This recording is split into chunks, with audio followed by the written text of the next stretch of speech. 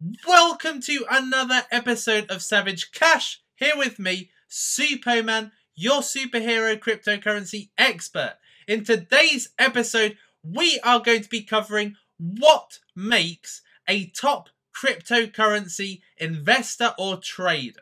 Okay, but just before we get on to that, I'm just going to basically update you on yesterday there were a lot of people who became students of mine in this course, the Cryptocurrency Long-Term Investment Opportunity 2017. And as you will see, there is nobody answering in the comments of my yesterday's video saying what the coin is or anything like that because the whole reason why I am basically going through this process to let you know what the coin is is because I only want serious people involved. Okay, now if we go back to what happened with Chaincoin, what happened with Chaincoin is that there were so many people that got behind it, but there wasn't enough belief. Okay, so there was quite a bit of there were quite a few passionate people behind the coin, but there wasn't enough belief across the community, and so when it started crumbling, it completely fell down. Completely fell down. So if we have a look at Chaincoin, Chaincoin got to six dollars. Today it is worth 25 cents. Okay, so it has gone down so significantly significantly from its peak. So there are people saying Suppoman's a scammer. Why do you have to pay him to be part of his community? Why do you have to pay him to find out what this coin is? This is the reason. I don't want people coming to you know, finding out what the coin is and then just dumping it at the at the smallest sign of gain. Uh, what we found out over the course of the last few days is that this coin has gone from nowhere pretty much to 22 times gain. Now, it has since gone down. And the reason it's gone down is a lot to do with Bitcoin and also a lot to do with wheedling out the early investors, the early whales that couldn't hold on and were pretty idiotic, if you ask me. You know, I believe that this cryptocurrency that you will find out about in this long-term investment course is very similar, very similar in nature to NEO. Now, it's not similar in terms of what it does, but it is very similar in terms of the fact that it is a very valuable coin, is in its very early stages, and if you invest in it, your money will go a long way. And I told people about Neo or Ant shares when it was $4. Now, people have said, oh, Suppoman, you can't take the credit for that. You know, we told you about Ant shares while it was going to $11. Yeah, because lots of people tell me about coins when they're on the rise. There's no substance behind it. They're just saying, oh, Ant shares is going up. Cover Ant shares. Tell us about Ant shares. We're investing in it, but tell us why we're investing in it. And I'm thinking to myself, why should I cover a coin you're invested in you know, why should I do the research for you? Why should I cover the USPs for you? You should do that. I'm not covering it for that reason. And a lot of people got invested in ant shares simply because it was just going up. They were chasing a peak. Okay, they didn't necessarily know what they were investing in. And when I came out with my video, uh, when it was at $4, I was very, very comprehensive about my review of ant shares, what it is, why it's valuable, why $4 is a ridiculous amount of money that the coin is worth compared to what its future value is. And I think that the coin that I speak about in this course is very similar in nature in terms of the fact there is such a long way to go. What separates this coin from a lot of the coins that people are hyping about and the funny thing is, is looking at the comments, no one's meant, no one's guessed it people that are outside the community are guessing all sorts of weird things, Ripple or IOTA. It's none. Of, it's not that. It's not Omnisco or Omisco, whatever it's called, OMG. It's not that. Basically, it's a coin that's flying under the radar because it's not on any significant exchange right now. You won't find it on a significant exchange. That means that not many people know about it, even knows it exists. Okay, and that is the amazing thing because that allows the coin to grow over time. Okay, there's such a roadmap. It's got to get on a major exchange, which it's in the process of getting on. That is why I recommended people take this course because by going on this course, you don't need to wait for it to go on a major exchange. You can invest before it goes on that exchange because once it does go on that exchange, it's only going to go higher and higher and higher. Okay, so it's not on a major exchange. Hardly anybody knows about it. I pretty much govern a community around this particular cryptocurrency. There's no other communities talking about this. That is what has allowed my community to make so much money and everybody else to miss out. Anyway, that is enough for now about that coin. But if you do want to find out what that coin is, just literally become a member of the cryptocurrency investment opportunity 2017 class and you will become a member of my Facebook group and Telegram group at the same time. But when you take this course, you will essentially find out why I'm investing in it, why I believe it's got great long term potential, the investment system that determines whether this is a good cryptocurrency or not, how to invest in this cryptocurrency, where do you find it, and how do you basically store it and keep it safe in a wallet and why you should accumulate it and all sorts. So it's very good. It's got 1,200 students now, so that's great. Right, so what makes a good cryptocurrency trader or investor? There's two things, okay? Number one is aptitude, okay? So aptitude is how quickly can you pick it up? How much um, does cryptocurrency fit in with your IQ? Do you get it? Can you understand quickly? Do you pick up concepts quickly? Okay, this is what I personally found. I took to cryptocurrency so quickly. Okay, when I first started doing cryptocurrency, it, initially I was, you know, intimidated by all of these, you know, what are these numbers? Why isn't it in US dollars? What does this even mean? What are these acronyms? You know, how do you determine what's going to fall, what's going to rise, blah, blah, blah. So I was intimidated. I started off just like everybody in cryptocurrency wondering what the hell do I need to do to be successful in this area, okay? And one of the things that I did actually, funnily enough, was I actually followed what was said in the troll box. That was one of the big mistakes because what I found eventually was that in the troll box, which has now been disabled, funnily enough, is that all people were doing were bigging up their own coins. They were just saying, oh, Ripple's going to go times a thousand in the next week. Um, Bitcoin is going to go to 2,500 in the next day. Yeah, and that was back when Bitcoin was 1,500. Okay. So, you know, the troll box was a bad place to go for, you know, to find out uh, what's going on in the market and what coins are looking hot. Okay. So, aptitude's a big thing. How quickly can you pick it up? Okay. Once you actually get involved, understand all the areas involved in cryptocurrency, how quickly can you pick it up? Now, I offer another course uh, in addition to the cryptocurrency long term investment course. I also offer another course, which is this one, the Cryptocurrency Investment Course 2017. And this is the course that is all you need to do well in cryptocurrency because it teaches you everything. It teaches you the theory and the practical implementation of everything. And then it is simply a case of continuously going on the exchanges every day and basically looking at coin movements, researching the coins, looking at the market news surrounding some of the coins that are really, you know, thriving. Now, at the moment, it says here that Bitcoin Cash is like plus 82,000%. Now, this is a glitch. Don't worry about it. It's simply literally because it's just been added to the exchange and there's probably not a lot for it to be based on. Okay, there's not, not a lot for it to be assessed against. So don't worry about that. But normally, if something is doing well, it's because there has been something that determines the rise of that. So it's normally either market news. So, for instance, something that came out last week, um, which I haven't covered here and it, and it has no impact right now, is Litecoin. Now, there was an amazing article the other week about Litecoin, which is that this website called Overstock let me just find it. So it's a com- company called Overstock. They're an online retail company. Uh, you can buy all sorts of things, a bit like an IKEA kind of marketplace.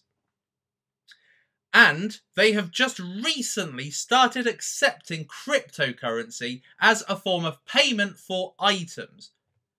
That is the first sign of real life coinciding with cryptocurrency in a significant way. An actual online marketplace using and allowing cryptocurrency as a method of payment in addition to PayPal and credit cards. Okay, so Litecoin was one of the main ones that it used. So it showed a few. It showed Bitcoin, it showed Ethereum, it showed Litecoin, it showed Dash, it showed Monero, uh, NEM, and a couple of others. Okay, and what happened was Litecoin immediately went up. So that is market news. That that actually made the price spike temporarily of Litecoin. All right, so basically, aptitude is one thing. How quickly can you pick it up? The second thing is literally time. Now, if we look at kind of time versus aptitude, this will accelerate your ability to do cryptocurrency trading and investing uh, a lot easier. Okay, it's going to make it, you're going to become proficient in cryptocurrency trading and investing. What's the difference between trading and investing? Well, basically, trading is short term trades. Okay, so you're buying a coin for the short term, you're looking to buy here, sell here. Okay, as simple as that. It's very short term. Okay, it's simply a case of getting into a cryptocurrency whilst the value's low. You there's a bit of market news that determines that it's going to go up. You buy before it starts rising. You sell when it starts to fall. Okay, that is trading. Okay, a lot of the big whales in cryptocurrency, that is what they do.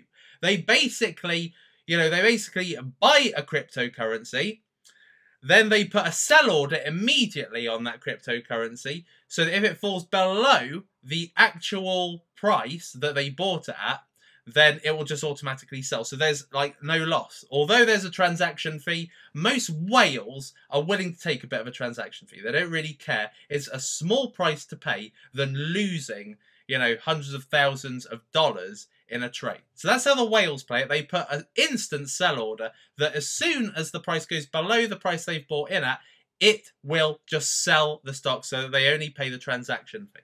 Now, what they then do is they wait for that cryptocurrency to go up about 5%, 2 to 5%, small profits, okay? 2 to 5%, they wait for it to go up, then they sell it, move on to the next one, do the same, sell it, and that's how they just keep on getting richer.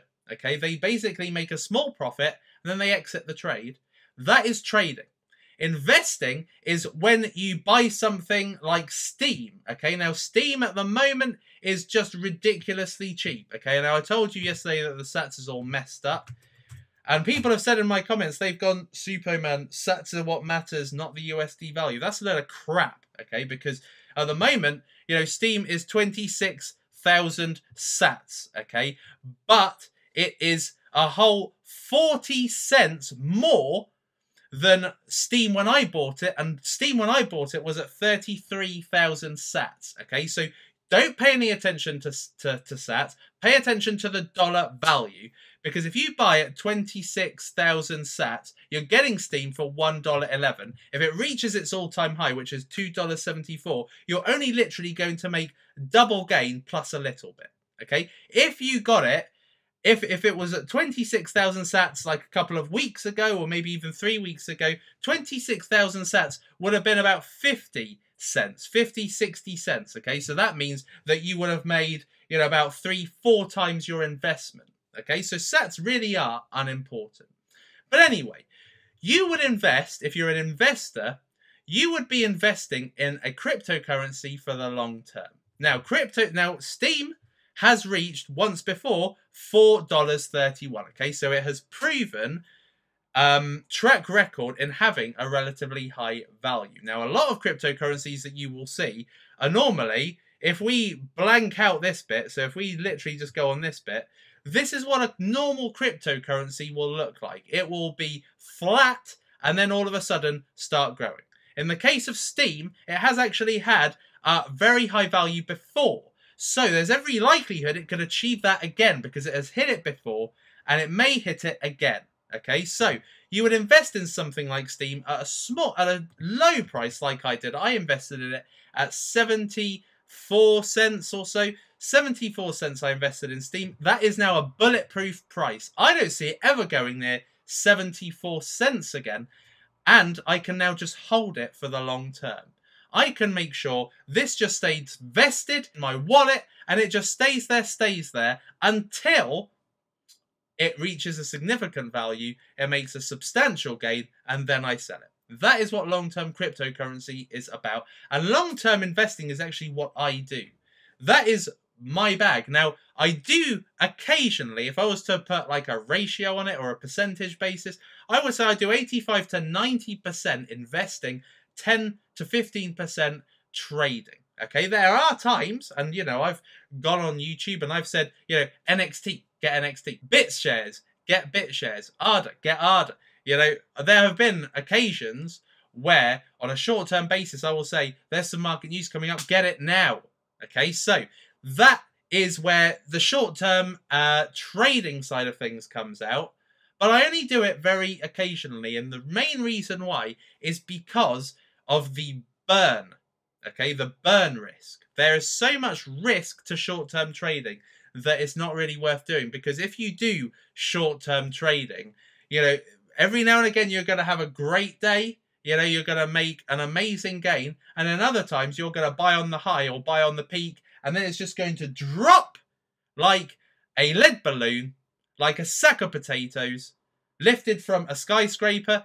It's just going to go crumbling down, and you're going to lose a load of money. So that's why I do short term trading a lot less because of the burn risk. Okay, however, long term investing, if you get in at a good price point, and of course, looking at you know um, Poloniex today, there's a lot of red, a lot of red, a massive sea of blood. Blood's on the streets too. Okay, and that is the time when you start looking at cryptocurrencies, particularly the ones that you you favour. Look, Steem's already gone up. 111 was quite a, a, a low price. So if you get invested because the price goes right down, okay, then that is best way to play long-term cryptocurrency investing is by going into a coin at a very low price, at a price much lower than it's been recently, or a correction, or when the market claims back about 60 70% of its previous value. You get in at that point and you just wait, you hold it in cold storage, and you just leave it there until you're ready to cash out. So, how do you become a better cryptocurrency trader and investor? With time and aptitude. Okay, that is how to do it. Now, those that don't necessarily have the aptitude need more time. Those that do have the aptitude need less time. But it's basically a case of just making sure you are going onto the exchanges all the time, looking at how coins move, getting yourself acquainted with market news, getting yourself acquainted with what all the coins are about and what they are striving to achieve, looking at ICOs. Now, there are quite a few ICOs about right now. I'm going to probably do a video over the next couple of days about the ICOs that are coming up, which look interesting. Okay? Because if you get involved at an ICO, that's normally when you can get in at the best price. Okay? So, that's what you need to do. You just need to just get involved with cryptocurrency. Okay, don't just literally, you know, go in there and rely on somebody else to do your work for you. A bit like what people sometimes do with me. People rely on me to bring them market news or information or the trades they should enter into. You should be doing that yourself if you want to be achieving something in cryptocurrency. You need to get involved with the industry. You need to understand why coin prices are moving the way they are, why Bitcoin, and why when Bitcoin suddenly goes up in value, everything starts losing value. You need to understand market movements so that when you have been doing it a while, you can see the logic. Now, this is where the whales come in. Now, there are some whales that are completely ignorant and stupid and have more money than sense, and quite of those, a lot of those have gotten involved in the cryptocurrency I speak about in the long term investment course because they bought an obscene, uh, obscene amount and then they cashed out at 22 times. That's great and all, you know, 22 times, you know, if they put 100,000 in, 22 times 100,000, that's 2.2 million. Okay, so that's a huge amount. And of course, you would probably exit out at that point.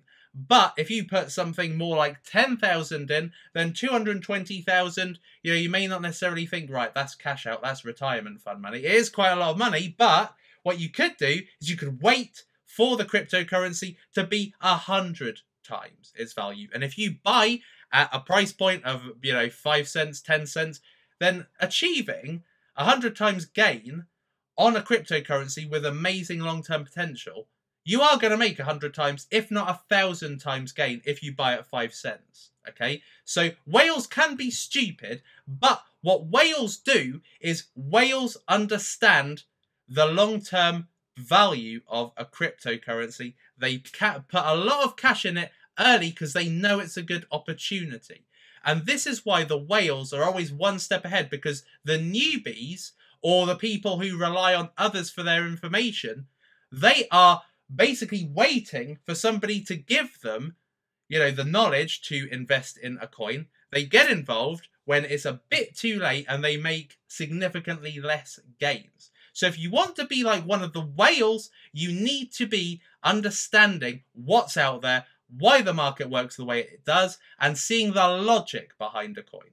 With the cryptocurrency long-term opportunity I bring you in my course, I spotted the logic, okay? I looked at the cryptocurrency, I looked at the pain that it solves, I looked at the competition, I looked at the price point, I looked at the other USPs. It's got a reward system, a lot like a masternode, you know, and these are the things I've been talking about in previous videos. Listening to my videos gives you a good understanding of what's going on with cryptocurrencies, why they are valuable, and why you should be investing in them. Watching my videos is a good education. So you should be understanding how the market works and then go off on your own eventually.